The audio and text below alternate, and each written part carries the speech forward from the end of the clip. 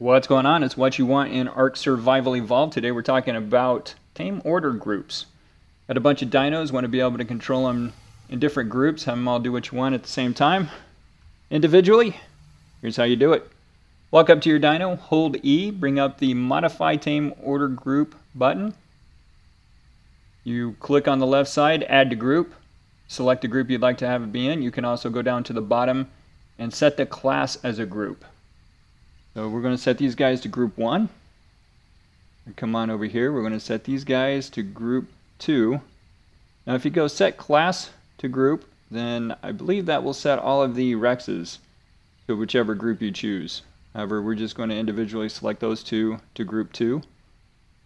So if you hold Z and push 1, there's tame order 1. Push 2, tame order 2 while you're holding Z. And we're going to put these Argies, we're going to set them to group 3. Again, I'm going to go individually into modify group, set them to group 3, and move over here and do the same to this guy.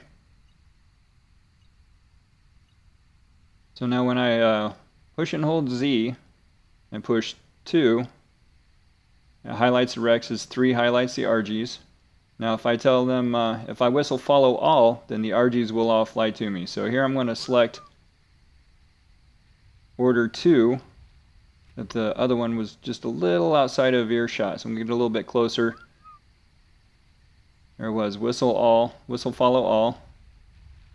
So group two came running. And tell them to stay. I'm going to run over here. I'm going to select group three, which would be the two Argies. Whistle follow all on them and bring them both over here. I'm going to hop on the Raptor here. Show you the last time here with the uh, group order number one. Follow all on these guys on the uh, Rexes there. Group order two. Follow all. So basically you could go to group two and group one, get all the Rexes to follow you. You can then whistle group one to attack target and send them off to do something else or have them stay while the other ones kept following you. But uh, here's a quick rundown on how to use a tame order group. Hope that helps. Grab up your dinos, set up your groups, go do what you want, live your life. Let me know if there's something you'd like to see. Thanks for coming by.